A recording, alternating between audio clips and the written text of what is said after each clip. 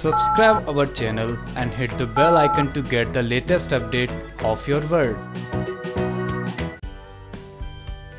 नागिन से जुड़ी हुई यूँ तो बहुत सी अपडेट्स हम आप सभी के लिए लाते रहते हैं। इसीलिए एक बार फिर से वक्त हो चला है आपको बताने का कि आखिर इस शो में अब क्या होने वाला है, किस तरीके से होने वाला है और कहानी में ऐसा क्या होगा जो आप सभी को भी बहुत ही ज़्यादा शौक में डाल देगा। जी हाँ। बता देते हैं कि आगे आने वाली कहानी में आप सभी को देखने को मिलने वाला है कि कैसे हमारी विश लौट कर आने वाली है, लेकिन एक बहुत ही बड़े ट्विस्ट के साथ। जी हाँ बता देते हैं कि कहानी में विश के ट्रैक को बहुत टाइम से दिखाया नहीं जा रहा है और सारे दर्शक भी अपनी विश शाखा का बेसब्री से इंतज़ार कर रहे हैं। लेकिन आपको ये बता देते हैं कि शो के मेकर्स ने डिसाइड किया है कि इस बार विशाखा की जो ये एंट्री है, इसको थोड़ा सा और मसालेदार बनाया जाएगा और इसके बाद आप सभी को ये देखने को मिलेगा कि भाई कैसे अब ये शो होने वाला है, बहुत ही ज़्यादा इंटरेस्टिंग जी हाँ।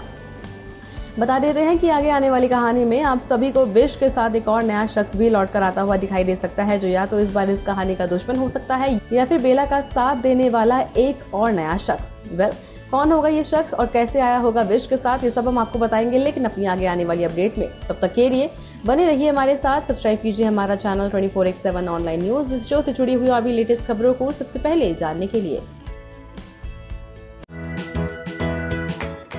Subscribe our channel and hit the bell icon to get the latest update of your world.